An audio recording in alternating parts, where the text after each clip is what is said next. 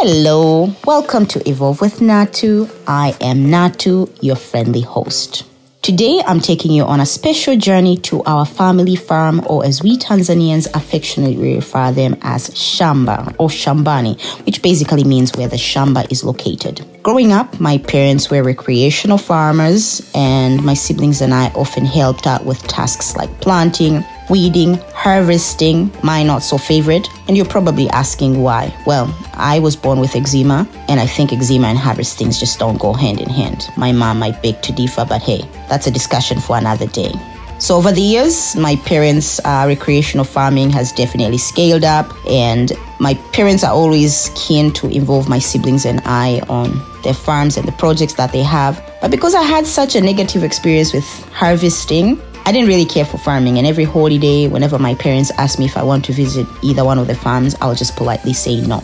So it came as a shock, a surprise, when I expressed interest without being forced, without being coerced to go see one of the farms. I politely just told my dad, hey baba, ningependa kuona moja ya mashamba. And he was so excited, he made sure he tended to that request ASAP. So mid morning, after breakfast, my mom, dad, my cousin Hassan, and I set off. This particular farm is approximately 15 to 20 minutes from where we lived, but our first stop was at the shop to get me some proper farm gear. Apparently, viatu vyangu just didn't cut it for the shamba. My dad was like, yeah, sneakers and this shamba, no, it's not gonna work. We need to get you boots. And I was skeptical because I wear shoe size 10, 11, girls, and I was like, yeah, they're not gonna have my size. And this just shows how clueless I am, Diamani. Because boots are unisex, and they definitely had my shoe size. So we got me boots, and we were now ready to go to the farm. Or so I thought. On our way there, I saw a snack shop or a cafe rather, and I convinced my parents to stop because I wanted to get me some samosas. Fun fact I think Morogoro samosas are the best samosas, or as we call them here in Tanzania, sambusa. They're the best sambusas in the whole world. If you disagree, please go argue with your mama, go argue with your grandmama. Do not argue with me. And my parents are listening to this clip, they're listening to this voiceover, so I have to keep it cute. Anywho, so I got me some samosas and now I was ready to go to the shamba.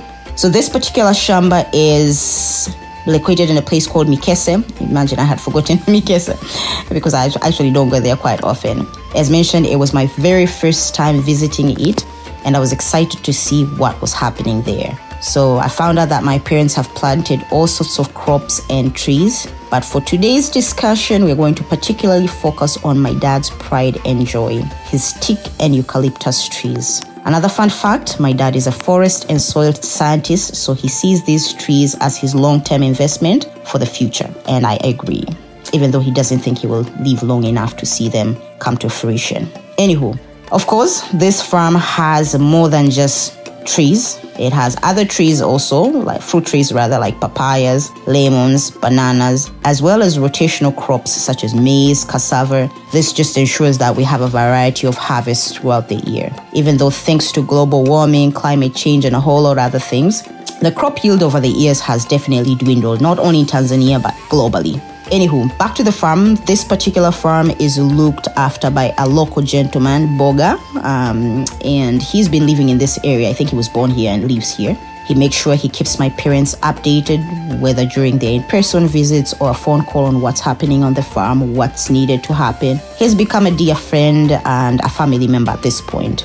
And not only does he update my parents on what's going on in the farm, but he ensures every visit is fruitful. And for today's visit, he made sure that we're leaving with goodies, bananas freshly harvested from the farm. That said, it's been fun telling you about our farm and telling you about my experience. And I hope I hope you thought I was gonna be farming. No, my days of farming are over. But I hope you enjoyed coming along on this journey with me. Until next time, have a wonderful day.